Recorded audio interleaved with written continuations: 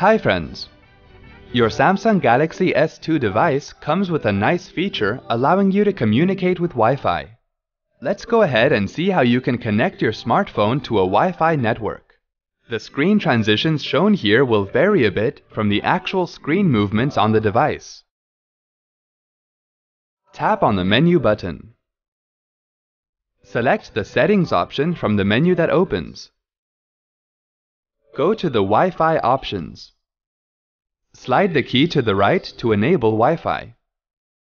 Wait for the device to search for available networks. Tap to select the desired network and then tap on Connect to get connected. Wasn't that helpful? Thanks for watching.